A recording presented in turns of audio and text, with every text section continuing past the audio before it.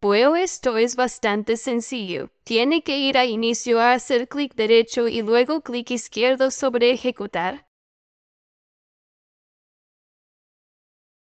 Escriba el dos puntos subfolder y pulse intro o aceptar. En esta carpeta están todas las aplicaciones y herramientas. Busque desfragmentar y optimizar unidades. Clic derecho de ratón y selecciona crear acceso directo. Le dirá que tiene que ser en el escritorio.